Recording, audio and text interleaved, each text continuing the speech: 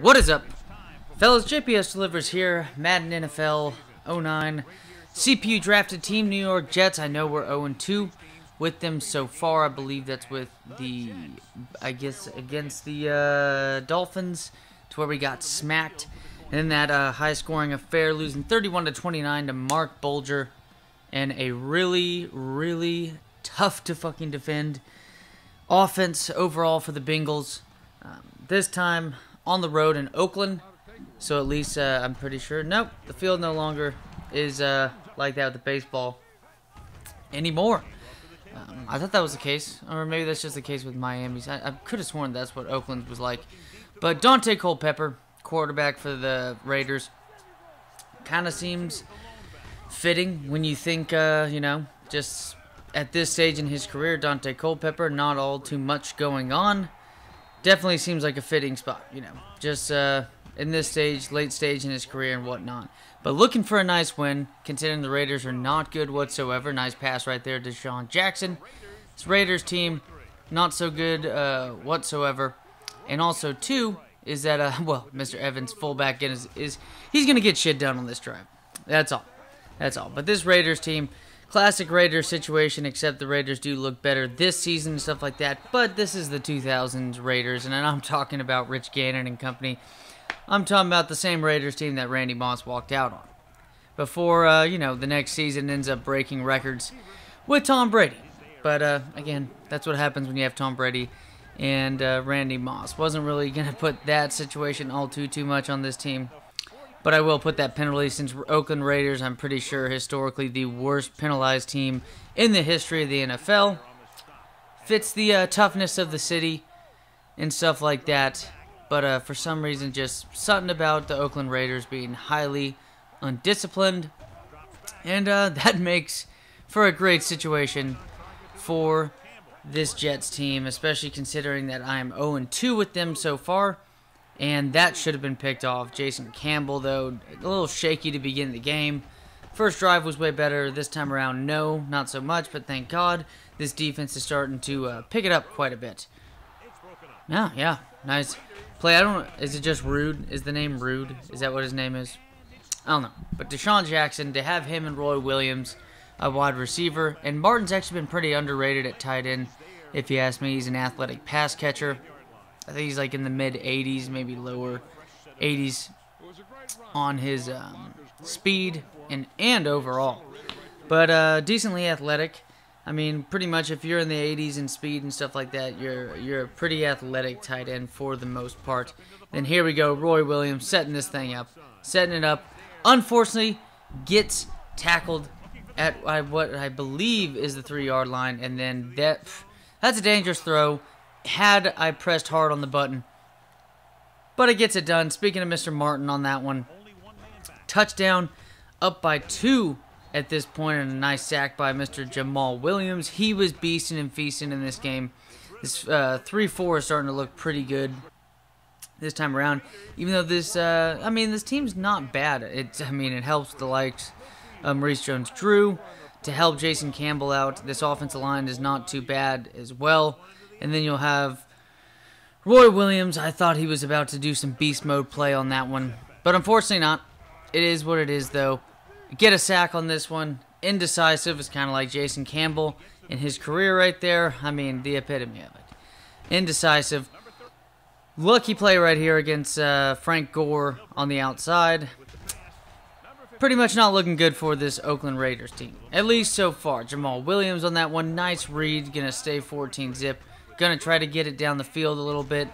Kind of run that two-minute drill maybe if we possibly can with the likes of Jason Campbell, and then that shit happens. It is what it is, but this highlight right here ends up happening. That spin move works very well, that 98 speed on the outside. DeSean Jackson's going to take it to the house as if he's like at the Meadowlands. Ironically enough, he's on the Jets this time. But it's going to be a holding penalty because, right, we can't have anything fucking nice with this Jets team. I mean, at least this Jets team is not the Jets right now. But because, uh, I know. I mean, it looked like the Jets were in position to maybe upset the Bills for a little bit, but then you kind of remember that it uh, it's the New York Jets of 2020, and um, if they're really, I mean, could could you really consider the New York Jets of 2020 to be considered the team that would rep, you know, pretty much represent 2020 if it, 2020 was a was an NFL football team? Because in itself, I mean, did anybody really anticipate this year to be complete shit show? Because everybody's always, I mean, it's all fucking social media. Oh, 2020. Oh, this is, I mean, oh, God, this has been such, this is 2020 in a nutshell. Everybody just trying to get fucking 10 fucking likes or something like that by, you know, some fucking shithead that hasn't talked to you ever since you graduated high school and whatnot. Fuck you, Kevin Falk. on that one. But, I mean, I'm pretty sure everybody was surprised that it has gone this bad. I don't think anybody should be surprised by how bad it's gone by the Jets. I mean, did anybody. Come on. Did really even Jets fans a nice touchdown pass right there? I think that was Chris Cooley on the play. But did anybody in their right mind think that this season was going to be good for the New York Jets? I mean, I feel bad for Sam Darnold, but even Sam Darnold's not good.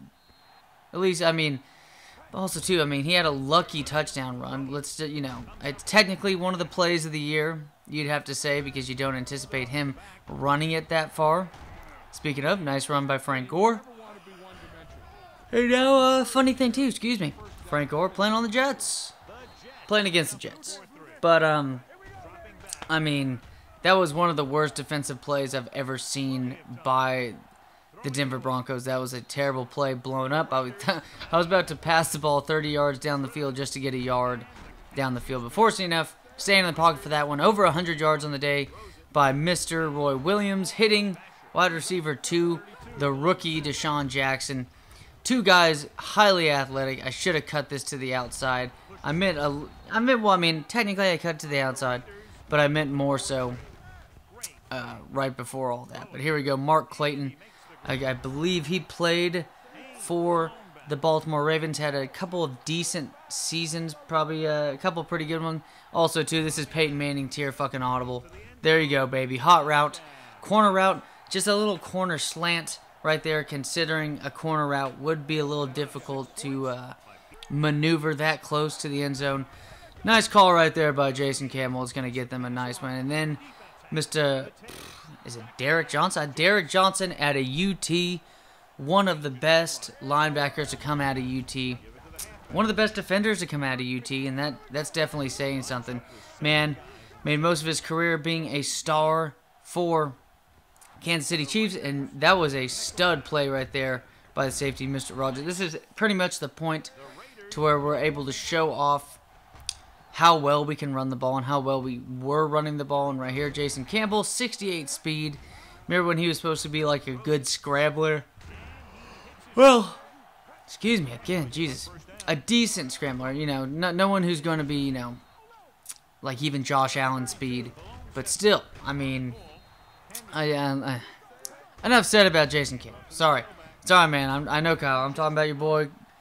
Uh, I just can't say enough right here to uh, get over the fact Jason Campbell. I'm just going to keep on saying his name. And then right when I say that, I mean, right when I said I wasn't going to talk about it anymore, throws an interception. Mind you, it's me. It's not really him. But thank God training camp went well, or else I'd be really nervous about this team. I was nervous in the first two games of the season, but unfortunately, a holding penalty on that one. And then Culpepper is going to get picked off by Eric Weddle. Beautifully done.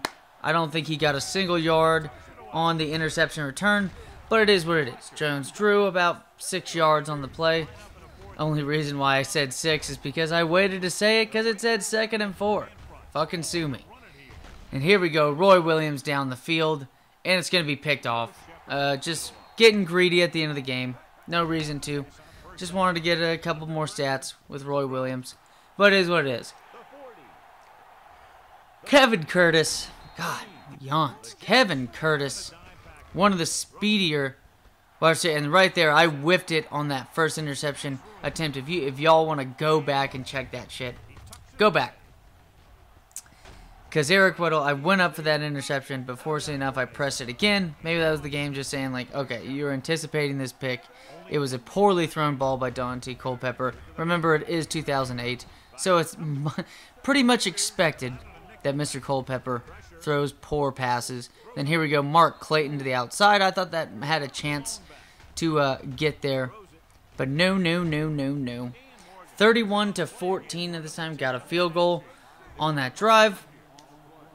Pretty much this Oakland Raiders team, god awful, trash. The fact that we can win by 17 after starting the season off so slow, you know, don't want to be pessimistic about it, you know, in its, in its entirety. But look good for the most part. I mean, offense threw for like 300 yards or so. DeSean Jackson,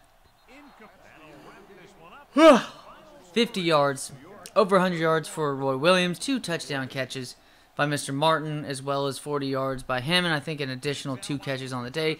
I believe Maurice Jones-Drew went over 100 yards. So, if we can get this, I mean, it didn't seem like the offense was too much of a problem. Maybe in week one against the Dolphins, for sure. Not much of a problem today, even though if we limit the turnovers, it could have been 500 to 14. I don't know. So, no, not 90, uh, not 100, well, was 96 yards, but not 100 yards today by him. Mark Clayton, 69 yards. Beautiful, beautiful number. 110 yards on the three catches by Roy Williams. Could have technically had two touchdowns today, but he did get caught short twice. Fullback Evans only had his two catches on the first drive, but hey, thank you, Mr. Evans. Started off with great momentum. Derrick Johnson with a pick six and two sacks, I'd have to say. He's the player of the game, in my opinion. Two interceptions by Eric Weddle, but uh, you know, two interceptions compared to the one interception, it was returned for a touchdown. Derrick Johnson with a great game, and Derrick Johnson's the type of dude that we need to utilize on this team. You got Jamal Williams right there. You got Mr. Root at middle linebacker. You're going to need a good middle linebacker when you have to deal with two of them in a 3 4. And you got Derrick Johnson, one of the best outside pass rushers, like the Von Miller type. As always, fellas, take it easy and see y'all next time.